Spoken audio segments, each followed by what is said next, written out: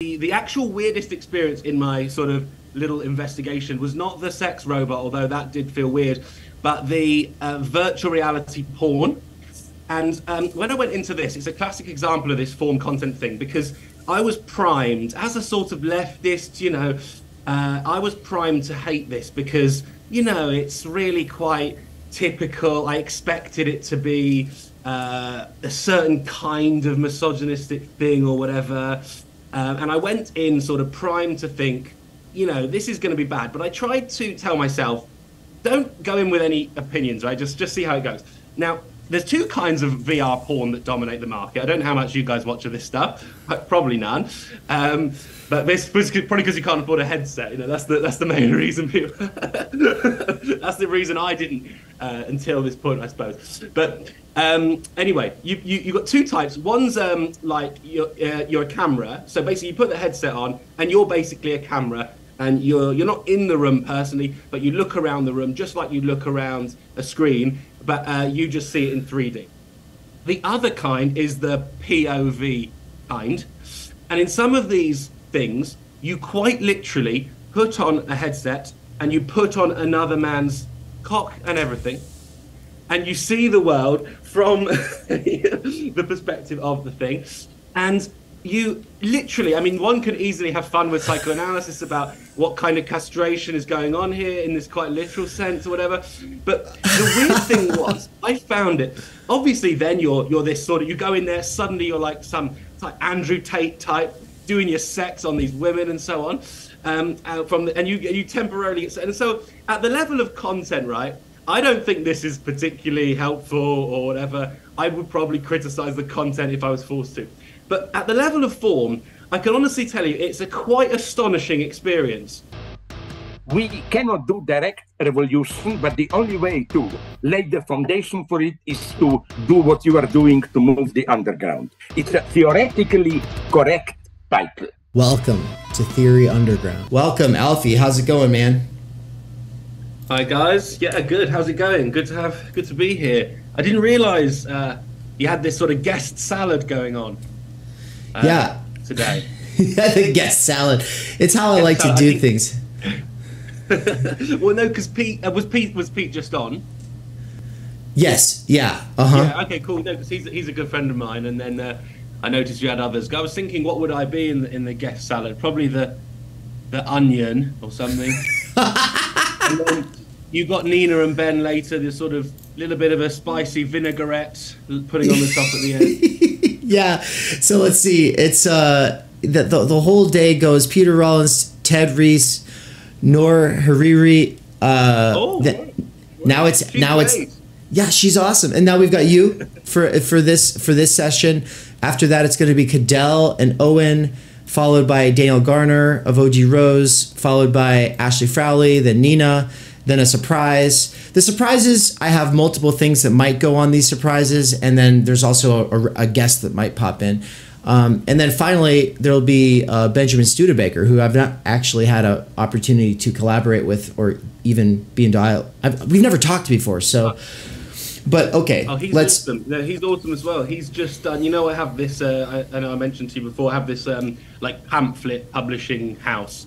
Um, Right. And Benjamin Studebaker did a fantastic pamphlet for us recently, like about uh, the question of the revolutionary subject and what that means today and stuff. I really, really liked it. I think he's he's great. Awesome.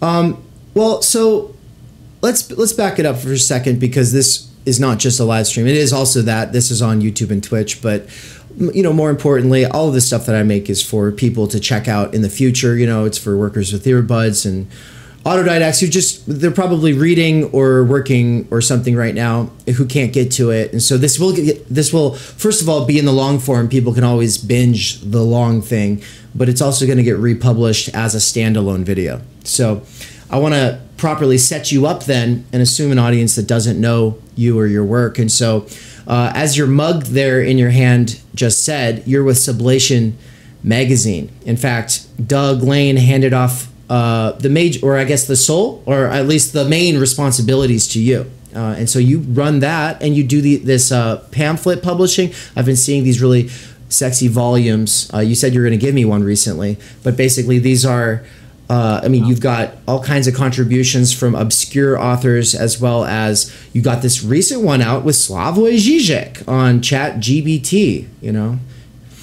Yeah, yeah, yeah. So yeah, that's right. I, I edit Sublation magazine. I've, I've, uh, I've been uh, along with Doug Doug Lain and Ashley Frawley. I've been part of, of working with those guys for years. But now I mainly work on the magazine, uh, while while Doug and Ashley do the the podcasting and, and YouTube network, and then um, we're all kind of involved in the the publishing press side of Sublation as well.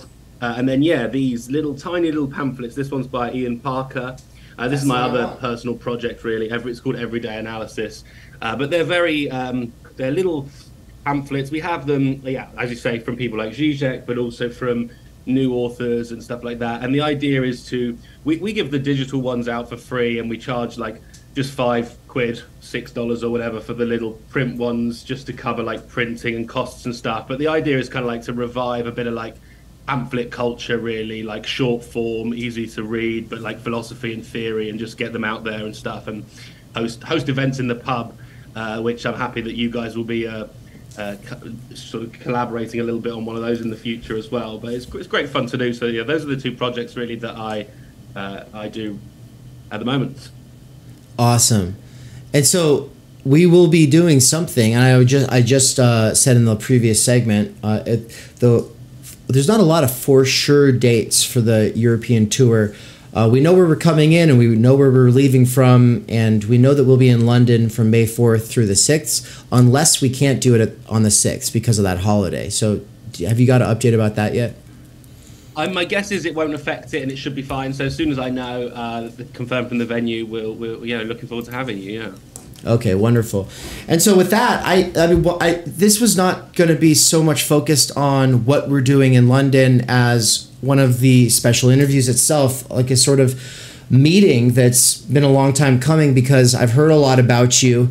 Um, Nance here actually has put you on my radar um, and has read a bunch of your work. Nance is also uh, the student who's done everything at Theory Underground and is a regular participant of the critical media theory cohort. He's got a presentation coming up in a week. Um, hope you're not too stressed about that one, Nance. Yeah. Reminder. Um, homework due. No. Um, do you? So, Nance, do? I I know I could sit here and I could rattle off some of the books that Alfie's written, and that's the the standard thing that a an introducer does. But I want to give you an opportunity to say a couple things about like you told me that Alfie wrote a book about sex and robots or sex with robots, and that he had sex with a robot. Could you elaborate? Is that true? Yeah, yeah. I didn't. I didn't get to that part yet. sort of. It depends what you call. It depends what counts as sex, but yeah, you know. cool. So, in relation to critical media theory and everything we've been doing at Theory Underground, Nance, do you want to say a few things about why you're interested in uh, Alfie's work before I start pulling out the questions. Just I like it. It uh, discovering. I can't remember the the name of that book now. The but discovering like that was dreams? exciting for me. Was it um, Sex Dreams? Is it called Sex Dreams? That's the Dream Lovers one. Yeah. Dream Lovers. There, Dream yeah, Lovers. Yeah, yeah. There we go. Sorry. Yeah. That's um, right. Yeah, that was, that was really exciting for me. Um, it I don't know. I guess probably came at the at the right time. Um, but it was like a fresh a fresh take, and, and your your dedication to engage with um, the topic that you were writing about um, was was fresh and exciting for me. Um, I think that's why I liked it so much, and that's probably why I was like gushing over it today for for a while. Um, that's great. That's fun to talk about. Yeah, no, I'm happy to hear that. So with that, yeah, then I, mean, I, I, oh. Well, yeah, no, I mean, let me just say quickly about that. I mean, like, yeah, it's interesting. I mean, I know uh, when we spoke before, you had not necessarily some criticisms, but some questions, and I think it is really interesting to like also reflect on. Um, you know, I'm very interested in, in the stuff I'm doing at the moment with like what the left is and or whatever. Uh, and I think I, I, did kind of write that a slightly more sort of, well, a different sort of time. So I'd like to sort of maybe reflect on that a little bit as well, since we're talking about it. But yeah, just, just to give you the sort of, um, yeah, just to respond to what Nance said, I think it's really interesting. Uh, just to give you the sense of what I wanted to do there. It's like, you know, I, I wanted to do a, a book which explored how relationships are, are changing in the digital age, basically. So my idea was to like use um, psychoanalytic theory to think about the question of desire, and um, and I suppose also the well the concept from Jean-Francois Lyotard, which is of this desire revolution. So he got it sort of claims that in the 80s there was this kind of revolution in desire that was taking place, and I sort of wanted to suggest or explore the idea that there was another kind of desire revolution taking place today, um, and that this revolution was like in process rather than complete. And I wanted to sort of explore the ways in which technology was changing how we think and feel, how empathy works, how identification works, how recognition works, uh, and, and in a broader sense, how love works. I guess that's what I was trying to sort of think about. Um, but also, like, yeah, like you said, I, I wanted to do this not just from, I felt like I couldn't do this just from the sort of, you know, reading The Guardian or whatever. So I had to, like, properly have a go. And, you know, I can, I mean, it depends what you want to talk about, but I, so I did things like I got a virtual reality girlfriend and an AI girlfriend. I went to virtual reality porn brothels and sex robot brothels. And I thought I should just give these things a full go and, and actually immerse yourself fully into these things. And I had some pretty weird experiences and, and I did come out with some weird thoughts. So, you know, it was fun to do. And, and I think worth doing rather than just um, you know sitting on your, in your academic's office uh, talking about what you think these things might be like. There were some really surprising results, uh, and I didn't feel afterwards like I I thought I would. Right.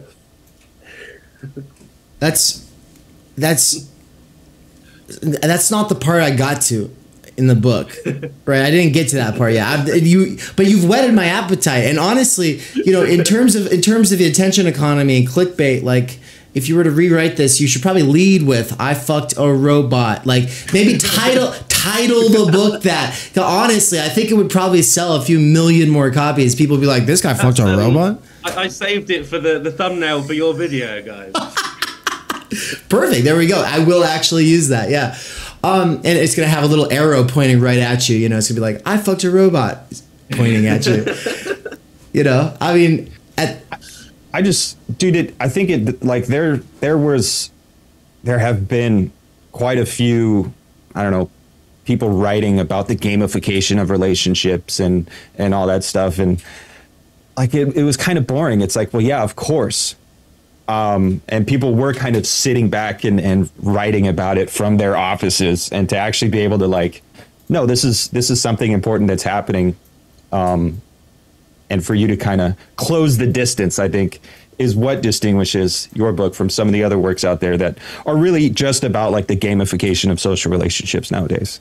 Yeah. Which yeah, is an yeah. important topic. And, I mean, yeah, yeah. I mean, I, I hope that's the case. And, and also, um, yeah, it connects to the other thing I was trying to say about this question of the left and the right, right? Because what I was thinking about when I went in with that book is, who is this revolution going to serve, right? Like, uh, and and of course, the obvious example to that is it serves capitalism, and it, serves a new form of digital corporation who, in whose interests it is that our desires be nudged and modified in, in such and such a way as to take us in, in different directions. So, um, you know, one very quick example of that was a story I always got to tell when I talk about this book is that this time when I went to China to, uh, and I, I gave this talk about WeChat and how sort of evil WeChat was.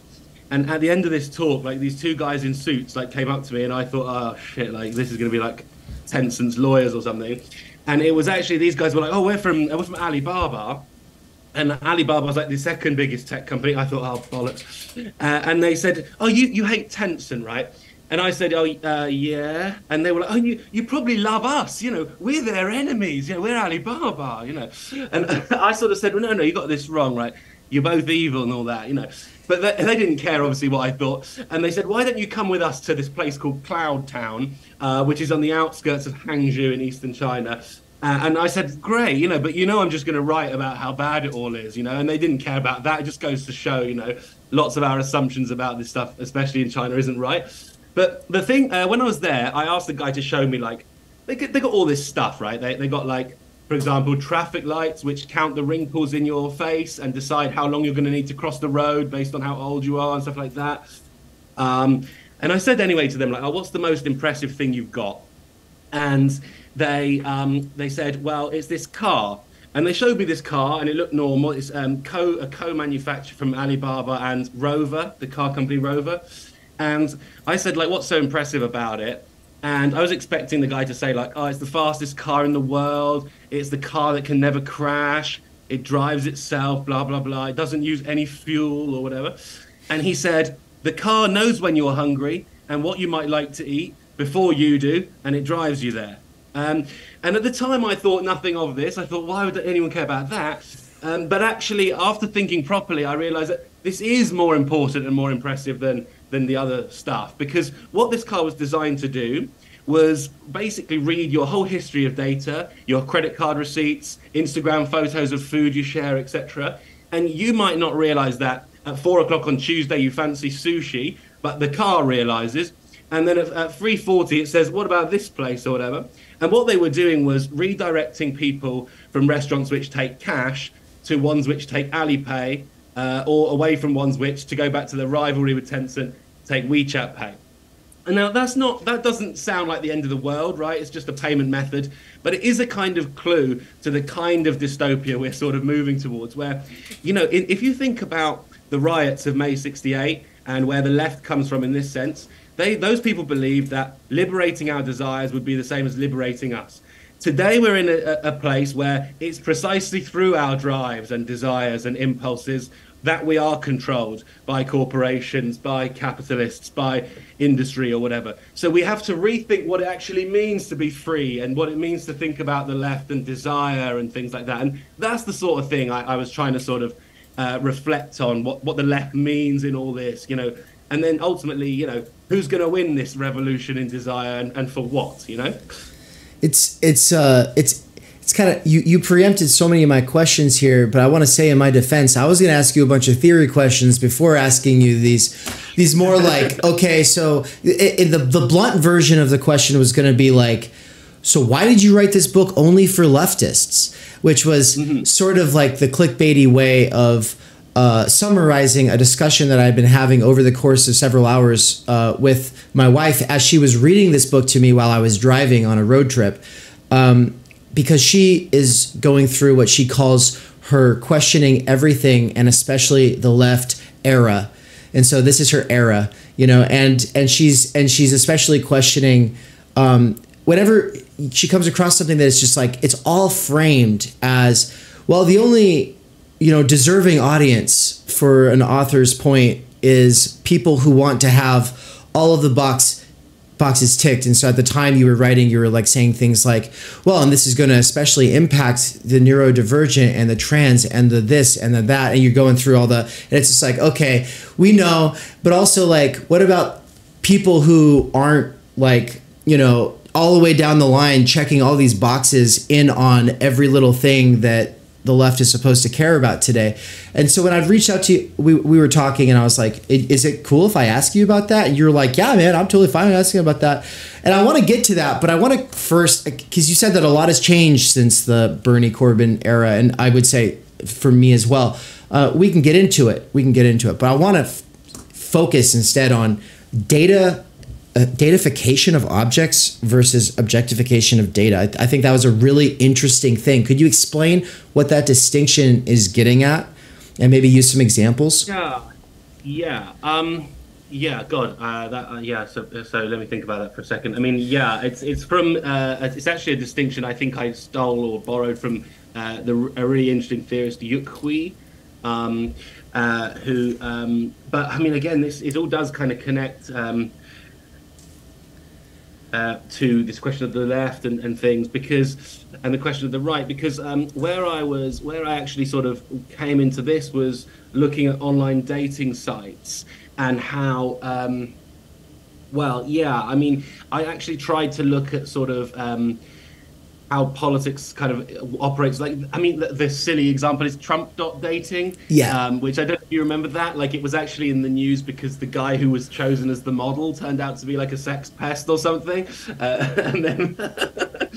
but, but there were actually two um, Trump dot datings, and and there were uh, two. Uh, there there are leftist dating ones. Uh, uh, there's something called OK Comrade, which I don't think is out yet. There was a uh, one called Red Yenta that was meant to come out, and one could easily say that you know this has always been the case. You know, the liberals go on Guardian Soulmates, the the righties go on or whatever, the Christians go on Christian Harmony or whatever. So you know, I wanted to explore how this sort of system of dating, this idea that there are certain patterns in what we want, and we want to see. I, I can't, you know, this this was. There's a lot one could say here, but basically, to put it really briefly, um, the idea that what we want is a reflection of ourselves, and we sort of group together in these kind of narcissistic bubbles of people.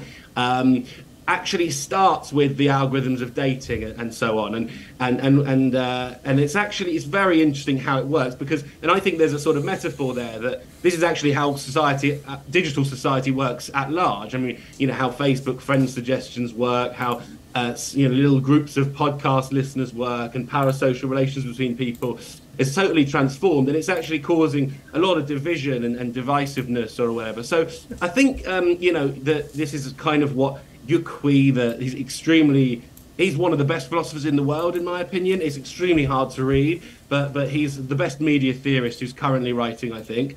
And he's um he, he talks about these two things right? So one is like how we become objects how we become digital objects in the world. Uh, but the second maybe more important is this sort of process of um, the, the, the, the, the, how, how the datafication of objects, how we are put together in this kind of like network of actors, of people and things. Um, and that, I think, is, is the key to understanding the politics of digital media.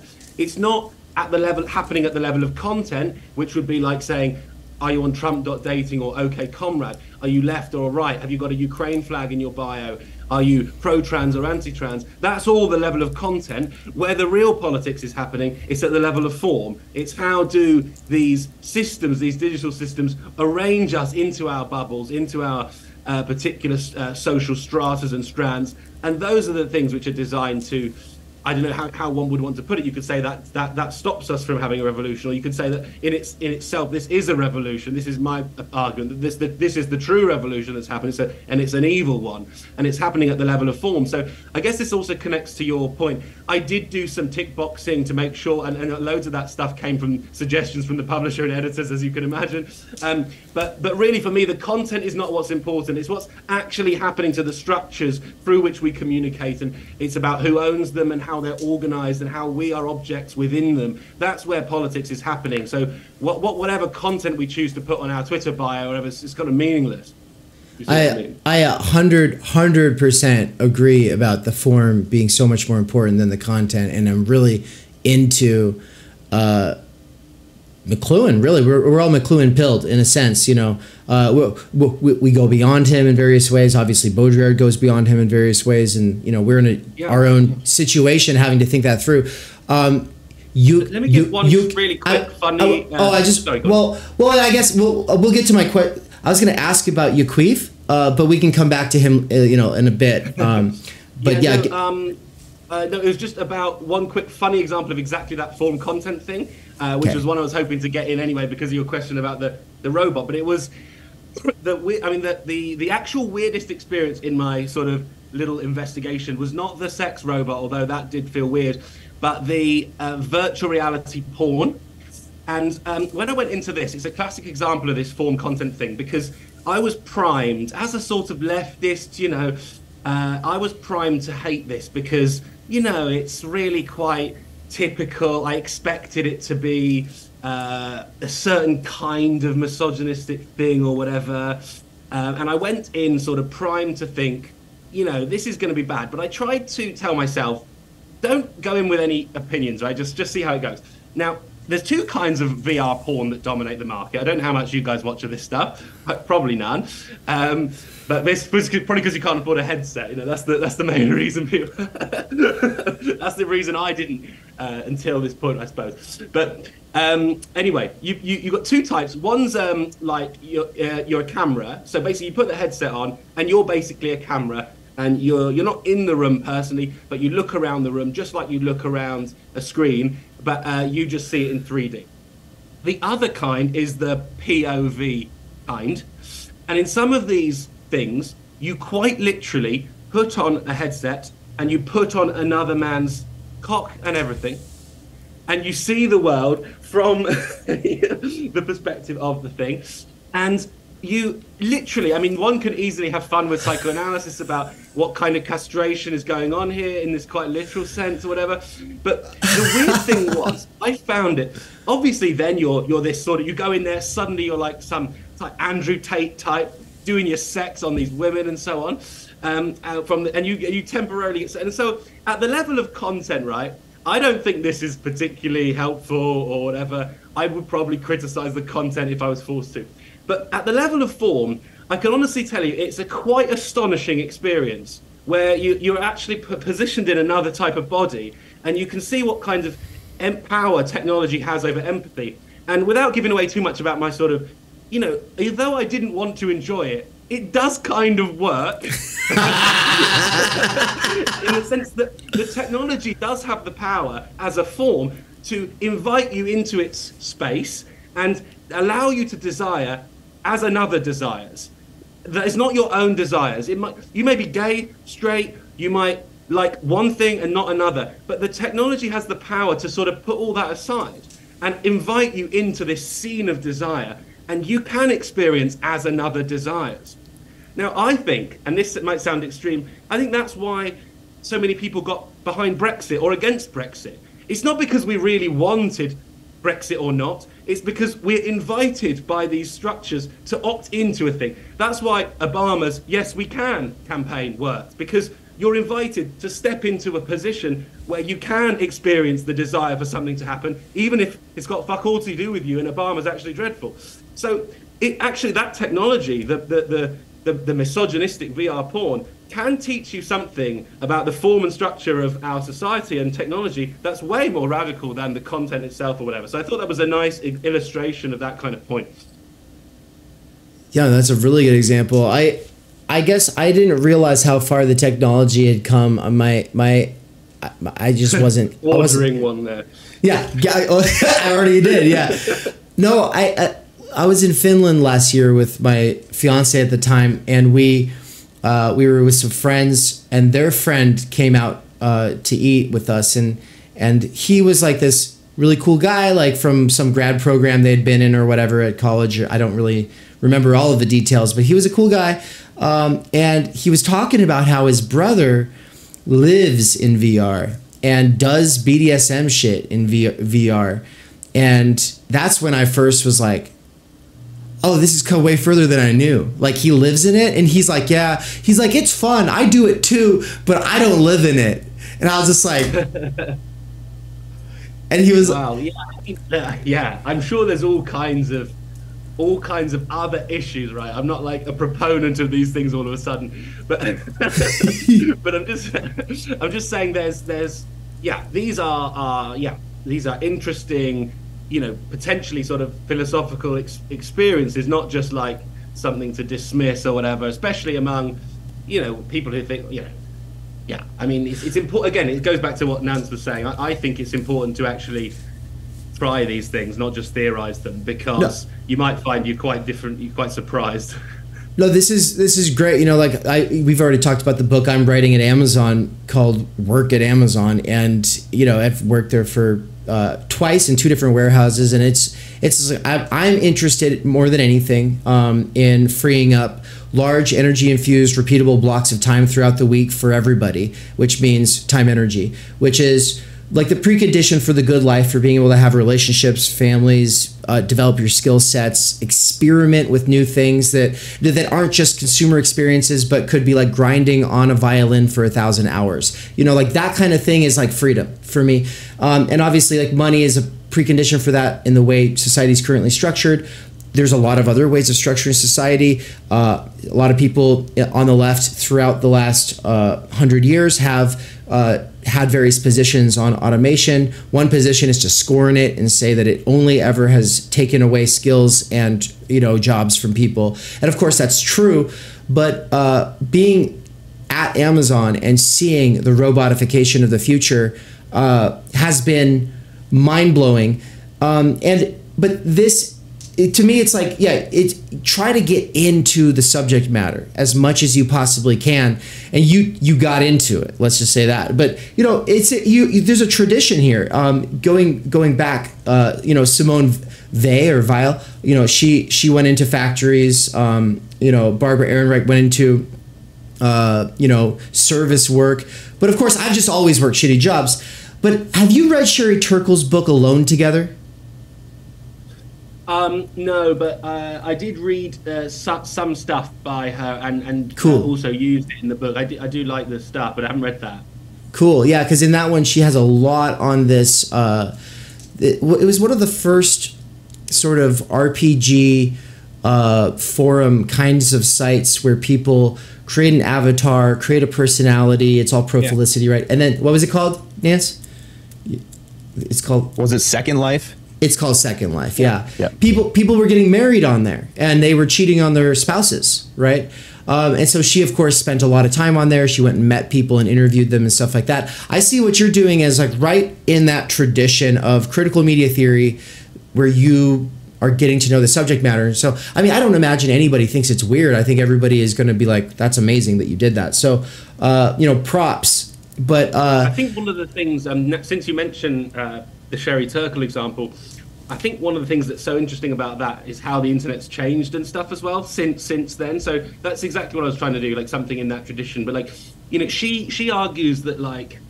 Um, the I don't. This is maybe a little bit. I'm not sure if I quite um, thought this thought process through. So I could be completely wrong, but my instinct and there's there is an interesting article about this by I think José van Dijck. But you know, in 2009, basically, uh, Mark Zuckerberg gave this speech, which was called, which was titled "You Have One Identity," and that's when um, Facebook started verifying people's identities and making them use their real name, and it, it then brought in the timeline and stuff like that. Whereas what like Turkle was exploring is this kind of like multiple playful identities online or whatever. Um, and uh, it was all like more associated with queer theory and experimentation and other kinds of play and desire or whatever. Then at a certain point in the history of the internet, this basically gets shut down. Um, and then identity becomes this kind of fixed thing. The internet stops being a play space for a queerness of identity or multiplicity of identity, and it starts becoming a commoditized space for marketing one single identity. Now, yeah. I don't want to get like into something I don't know about, but it, it is interesting that now when you look at, say, maybe examples from the trans community, but what comes to mind most strongly would be like those furries where they're like, I'm also a cat or whatever. Uh, and it's no, it's not like, oh, I, I'm being a cat today. It's like I actually am one forever. This this speaks mm-hmm. to the essential quality of my de- identity in a way that. So I think there's a, something dangerous that's happened since 2009, which is that we've taken away the uh, play, play, freedom, queerness, and replaced it with a sort of you have one commoditized identity thing. And it's actually extremely interesting that Zuckerberg basically said it and it happened. I mean, so this is sort of the, the role of tech in our sort of cultural life or whatever. And I think that that long history that like Turkle's part of investigating would be really important and worth sort of flagging. You're making me instantly reassess everything I've done with Theory Underground because uh, it's you know it's not just a course site and publishing house. There's a social media aspect to it, and we say you know people are encouraged to not be anonymous, use your real face uh, but also don't be yourself. So of course, like I have like put that don't be yourself, don't be your full authentic self. We don't want to see that. You know, don't try to be your own full authentic self here. But but we are encouraging people to use their face and name. And now I'm like, you know, maybe maybe maybe yeah, the, the glory days really were when there wasn't this sort of injunction that you had to do that. So that's fascinating. Uh, yeah, I mean, it just, it just, um, yeah, exactly. I mean, when I was studying, one of the things that really got me into psychoanalysis, actually, and into all the things and Marxism, was uh, Lee Edelman, which is like queer theory, basically, and he's yep, yep. sort of critic and pro queer theory. But I, I, found that really like useful, and I do think like a lot of the lessons of queer theory seem to have been like forgotten, and that like you know that it's important to to sort of remember how that sort of changed because on the one hand we've got you know, we've got certain discourses of, of you know, we're making progress or whatever, apparently, in, in terms of sexuality and stuff. But, but, but there's actually something that's not progressive happening as well going on there and and it's important that we don't like close all those queer spaces and insist on this kind of commodified single identity stuff i think that is probably worth saying yeah yeah it, it does seem like uh there's a huge gap between um, people who take on gender as a performance and people who take it on as the authentic truth that you need to literally believe and also verbally conform to. And if you don't then you're literally a nazi. And so like there is like this this gap because on the free play side it's like yeah you know I'm, that's where i came in like so going back to you know things were very different in the bernie corbyn era you know in 2016 i was basically a class reductionist workerist right um, and I have lots of problems with class reductionism, as well as more importantly, I have bigger problems with workerism. Um, you know, because it's just, it's its own form of identity politics, blah blah blah. It's also easily co-opted by literally anything. It doesn't matter. Uh, it doesn't give us jack shit to doesn't actually deliver. Um, so th- th- that's I've got a whole thing on that, but that was in 2016 when I was with Bernie, and of course I was like some kind of a Marxist as well. Um, and then the I, you know, I, I got more and more into like woke spaces because of the organizing. I started networking with more and more uh, people who were that way, and as a result, I kind of came to this idea like, oh, we need to loosen up, like the class reductionist side. It's the it's we need to loosen up because we need Bernie to win next time, and we were part of the problem last time, and and not only did I loosen up, I started experimenting with my gender. I started using they them pronouns. I, uh, I had an, an alt account online that went by a woman's name, even though I wasn't a trans woman. I never was. Um, but it was an experiment. It was just to see how people would treat me, how things, you know, like what, what what's it like to kind of like play with that side of myself that obviously American culture, especially growing up in Idaho, never. Uh, appreciated or, always kind of suppressed, or as Judith Butler says, because I was really into her at the time, you know, that side of you. who you are in your gender performativity you think it's natural you come to feel like it is you it's natural you know it, what's what's been forced to be normal is made natural she says that we forget about the part where if you don't comply with that you get bullied right? And so there was like this big sort of revolutionary like transformation in my in me just being like wow i can get in touch with that. Um, but you know in retrospect i also think that i was wanting to be heard and seen and be able to have communication within the university spaces where if you are a white male you're fucked. You will not be seen. You will not be heard. They will not appreciate you. But you show up in a dress and okay you can actually talk now.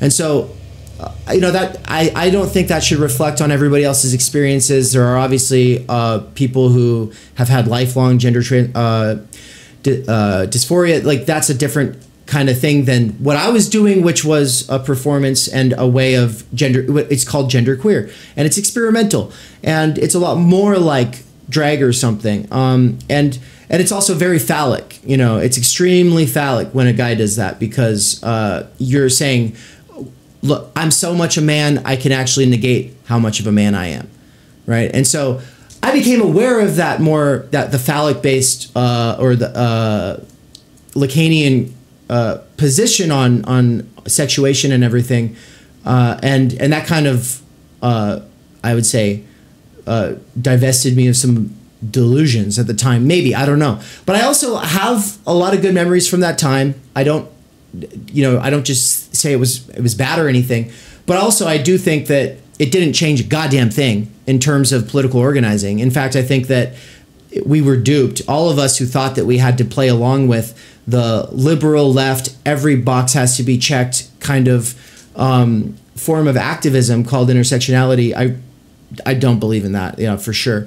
And so that's how I've changed. Um, and so in our last, uh, you know, 15 minutes or so here, all three of us maybe, I'd like Nance to also talk a little bit about it.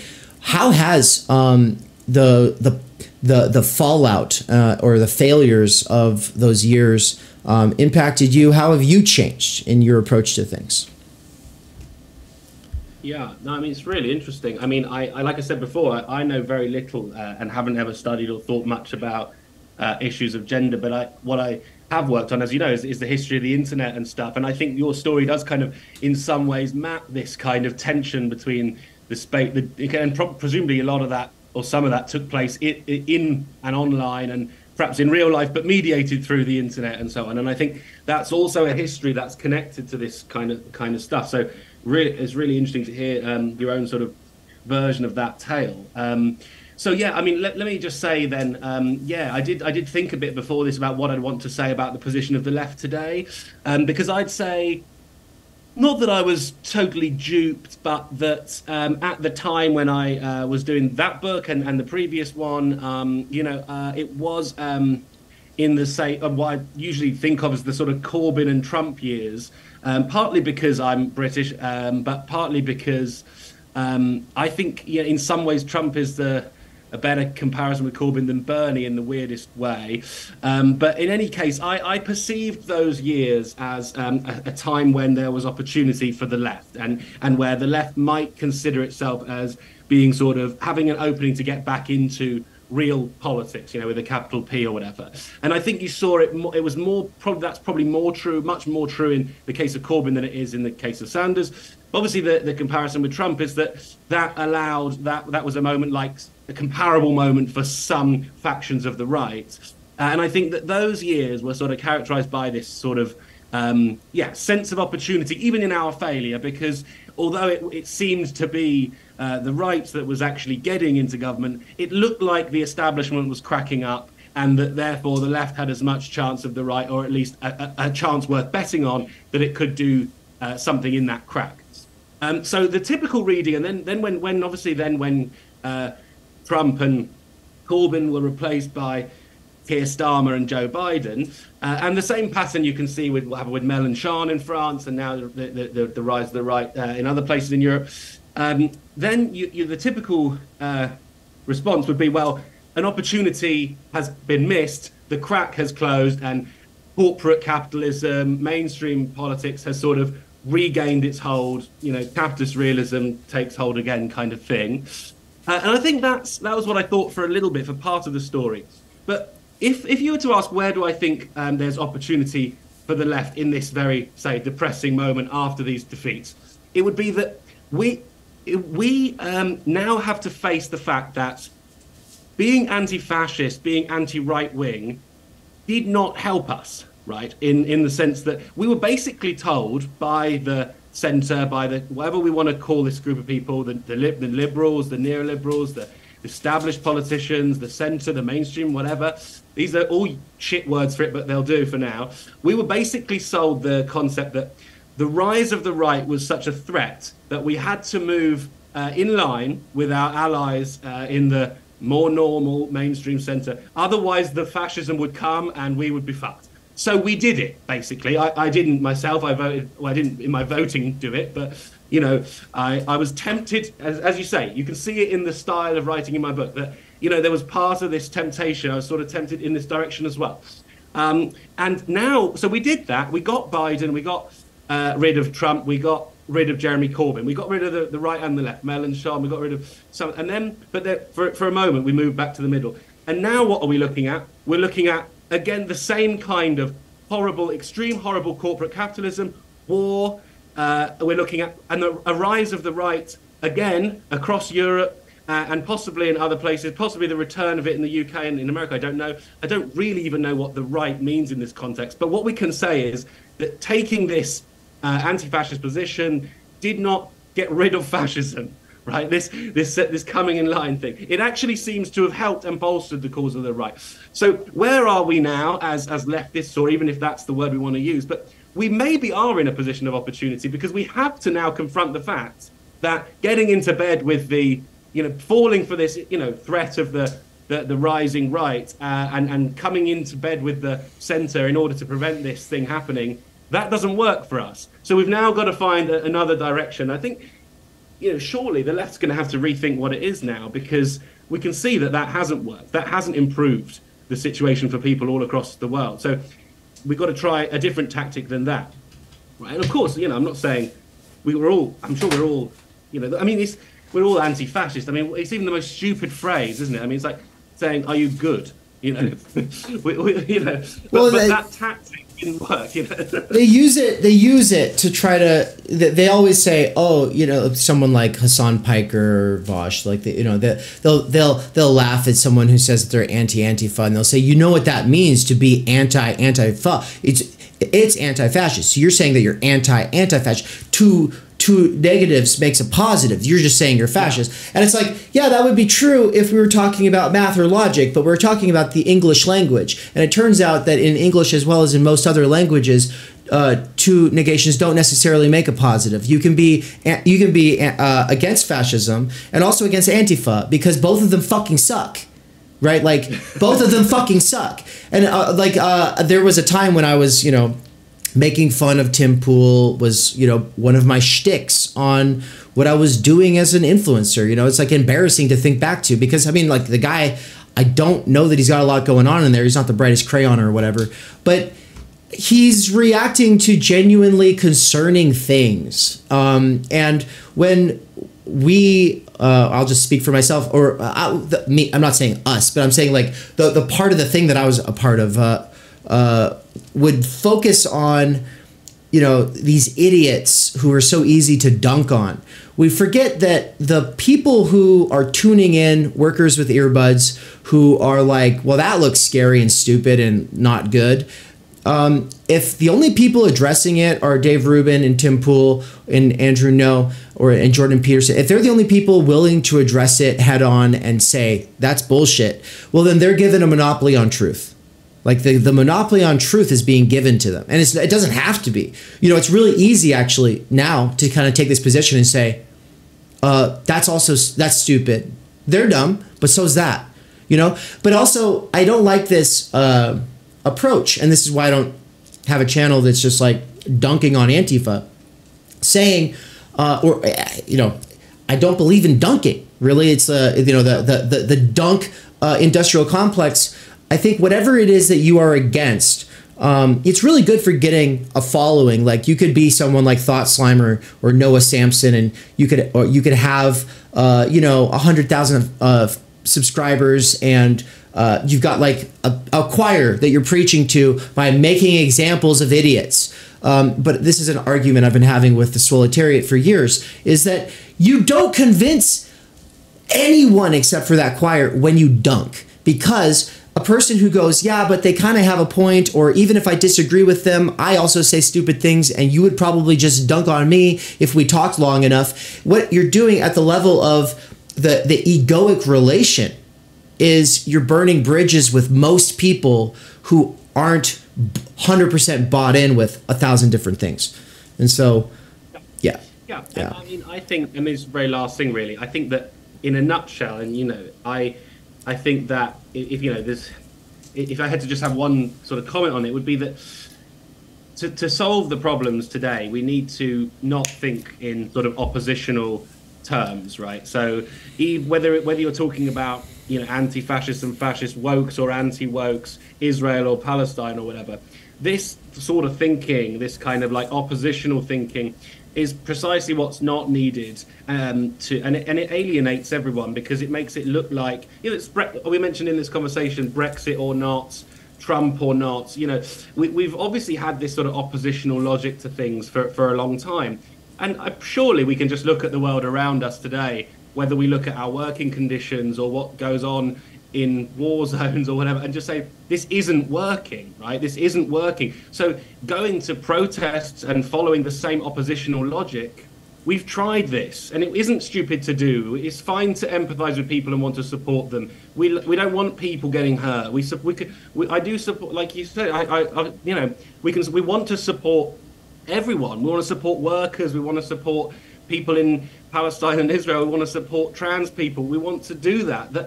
But we have to do that without being oppositional because all that does is alienates everyone, makes people hate each other, and it's precisely what got us into this mess. So we've got to find a way. And I'm just saying, I guess this would be my point about the left. The left has has become fairly oppositional, and I think it's now at a point where maybe we can look at the world around us and say, okay, that hasn't worked. And so you identify as a universalist. Well, I mean, I I really uh, have always thought of myself as part of the left, and the the sort of motto of Sublation magazine, um, which I like, is sort of critiquing the left from the left, um, which I like as a as a motto because. Uh, too much about too, we're too inclined, as, as I say, to think oppositionally, to think of ourselves as the pure subject and the other as the problem. So we're just slagging off the the enemy and not ourselves. It is important to see that we're all complicit we're all guilty. We're all subjects who are part of the problem here. Uh, so, to me, the idea of being a leftist who critiques the left as well as critiques the capitalists and the right is a is an attractive. Probably, I'd describe myself as that. With the pamphlets, I did describe it as universalist because I think this is also something we kind of need.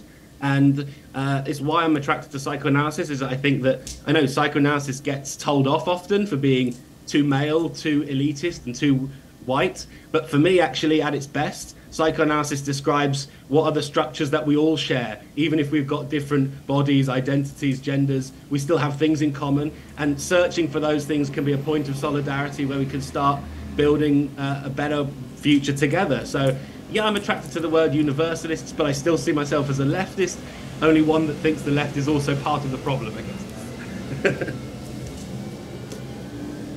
Nice that i'm rolling the applause there I think we love that. Love that. Um, I, I know. I know. I had said I wanted to, Nance to be able to say something as well. I'm gonna step away. You will not see me for a second, but Nance, I can hear you. And if you want to just take the floor for a couple minutes, share out how things have changed for you as well, points of agreement or disagreement with the two of us, and whatever, then we'll close out.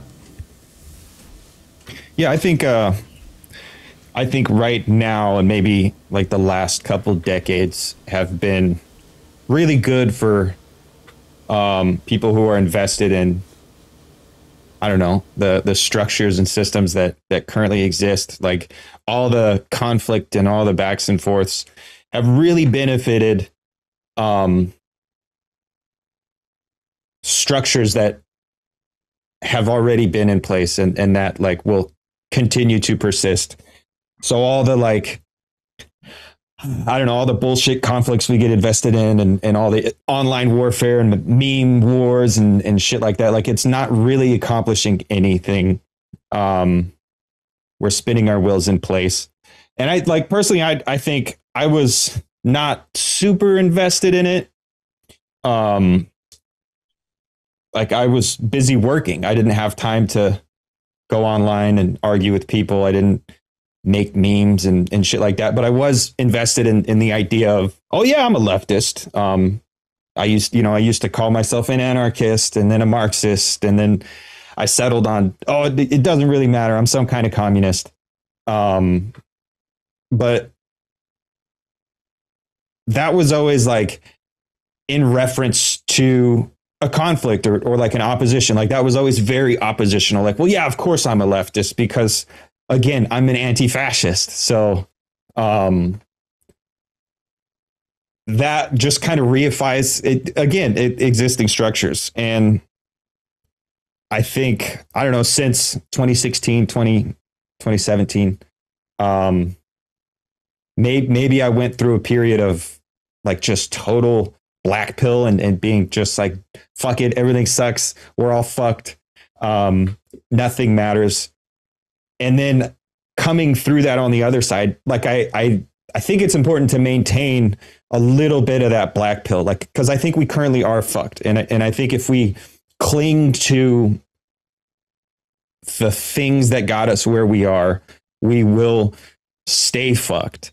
Um, so I think we have to like look up from what we got going on and and try to I don't know reimagine um who we are um, and not in reference to opposition, not in reference to in group, out group, like in reference to like, well, who am I and what does that really mean and what do I desire and how am I being led around by that desire and kind of locked into these false binary positions. Um, we really have forgotten how to think dialectically and like we, the left and, and stuff like that. And um, I don't know. Maybe I'm huffing my own farts, but it it does seem like there are a lot of people that are coming around to that position as well. Um, so it's exciting. Like maybe, like Alfie, you said, maybe there is a, a, a new opportunity now because everyone realized, no, we can't do this lesser lesser evilist. Um, maybe that is a, an opportunity. Um, maybe there is a reason to hope. I don't know. Yeah, I think I also don't. I mean, I also don't know. Uh, no. But I think if I was to try to be hopeful, that's where I'd go. yeah. Beautiful. Well, thank you both for being here for this segment. Everybody, we will be back shortly with Cadell Last and Owen Cox to talk about the new Dark Age and some of the experimental organizing events that they are doing right after uh, this.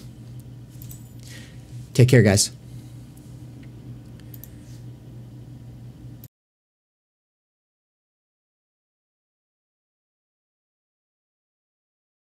Okay, that was stupid. Uh, why is it not working? Three, two, one. All right, right after, right after this. thinking is super uncool and that's why you should do it it's just like almost anything that's like cool anymore um,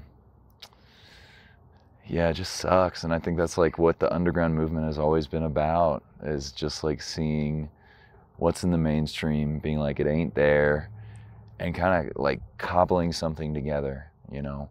And and yeah it's a little mismatched but that's like its beauty We cannot do direct revolution, but the only way to lay the foundation for it is to do what you are doing to move the underground. It's a theoretically correct title. Welcome to Theory Underground, where workers with earbuds can find genuine liberation from necessity. Research at Theory Underground focuses on what is most important for understanding our current situation theory of the subject, capital, time energy theory, critical media theory, CMT, and the most essential critiques necessary for understanding why the theory, ideology, and common sense of influencers left to right misses the mark. We bring primary texts from leading lights of diverse fields to bear on topical issues and works popular in our current world. Theory Underground is a publishing house as well as lecture course and social media platform. You've been reading Underground Theory. Yes. And uh, amazing book. I'm a publisher and an editor. I run and review of books. Literally, it's my living. This is the best edited collection I've ever read. Jesus Christ. This is a little experiment in what I, David McKerracher, can pull off without relying on the academy or the algorithmic dictates of the attention economy. Usually, a good edited collection has good essays, but you only want to read a few. Every essay makes me want to read the other essays because you have a vision. Everyone that you invited, you invited for a reason. You weren't some fake publicist who's like, "How's so and so's a new book? Have them on your show." No, you only talk to people because you've read shit by them that you've Right, thought right, about that you right. think has value, even if you disagree. So I think that's what's amazing. I believe that I am, like so many others, pioneering a future in which educators can form learning webs that will make learning as a way of life enjoyable and emancipatory. However, before these tools become accessible, they have to be experimented with. That's why I built my own website and app using nothing more than my own saved wages, five patrons, and some small classes of students over the last year. Of course, I also have had my wife Anne's moral support and help with accounting so that I don't get in trouble with the IRS or whatever. In less than a year, Theory Underground has already put out eight courses, two books, one, my book, Time Energy, and the other Underground Theory, which has over 30 contributors, including works written by students at Theory Underground, some of my fellow travelers, and colleagues in the broader universe of Underground Theory. Beyond the books and courses, though, you will also find interviews, reading exegetical reaction sessions, and live weekly events for working class autodidacts, independent researchers, and renegade academics. These include a variety of clubs and cohorts that meet on a weekly or monthly basis. If you want to get involved, there are four main subscription levels. Think of it like a gym membership, but for your mind. The point is to make learning, practice, and theoretical comprehension a way of life. Support at this stage of the operation is more crucial than ever because my savings were used up over the last year of getting this established. If I can triple my subscribers in the next two months, I can quit my gig at Amazon and focus on this work full time. All I need is a few more people at each of the levels or a couple big time patrons who just want to see it happen. Right now, I am doing a patron and site subscriber drive, so excuse the commercial. But if you end up really liking what goes on at this channel, consider signing up soon. If you cannot afford it, but want to get involved with some of the stuff behind the paywall, I have made a financial aid scholarship you can sign up for here in the description. Quick side note some people ask about the profit motive. At this point, I have not actually made a return on any of my investment in terms of the amount of time energy that I put into things, the amount of savings I've actually put into things, the opportunity cost of the work that I'm doing as opposed to the other kinds of things that I could be doing for money. Uh, but more importantly, I don't actually make enough to pay for my cost of living. The goal is to make enough for my cost of living.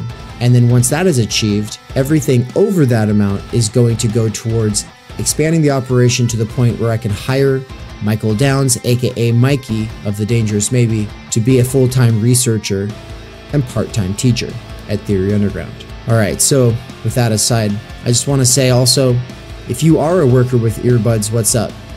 I see you. I work at Amazon part time, and everything I do is for my past self who used to work there full time. Most workers with earbuds couldn't care less about theory, but I do believe a working class intellectual revolution could grow out of the underground theory scene. My hope is that what I have built here will contribute to making the scene something more than just a scene, and you into something more than just a scene kid. We're trying to make this into a real intellectual milieu capable of leading a way forward beyond the imminent crises facing humanity. But for that, we need thinking now more than ever. Start thinking. I hope that you either will or have enjoyed the program. And also make sure to like, comment, subscribe, and leave this playing in the background all the time while you're doing other things. Playing long form, Theory Underground content in the background while you do things has, in the near future, been scientifically proven to emancipate minds from the functional illiteracy imposed on workers by the structural stultification of time energy. This is achieved by reterritorializing circumspective concern.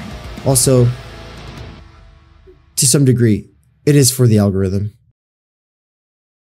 Think of it like a gym membership, but for your mind! I love you so much. I love you too. Just want to make a quick shout out here at the end to my patrons over at Patreon.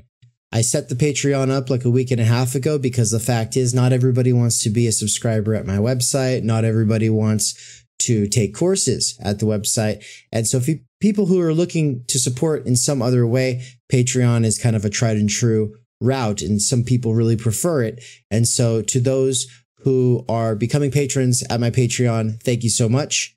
If I can get up to $500 per month between people over at my website and people over at the Patreon and people over at the Substack, collectively, I will be able to quit the job at Amazon and do this full time.